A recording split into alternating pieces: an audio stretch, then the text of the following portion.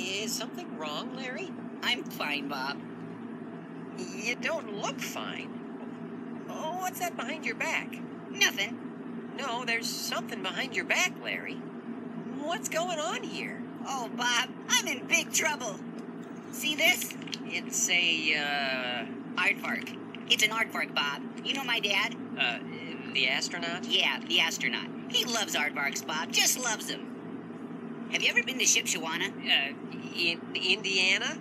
The Amish community? That's the one. It's full of craft shows. They're crazy about them. Oh, what's that have to do with the aardvark? My dad went to Shipshewana, Bob, and he bought this aardvark kit. Spent three weeks putting it together. He loves this aardvark. You pull his tail and his tongue shoots out and picks stuff up. Because of Velcro, that's why. And the problem? I broke it, Bob. I wanted to see how many times he could shoot his tongue out in a minute. I was up to 48 when this happened.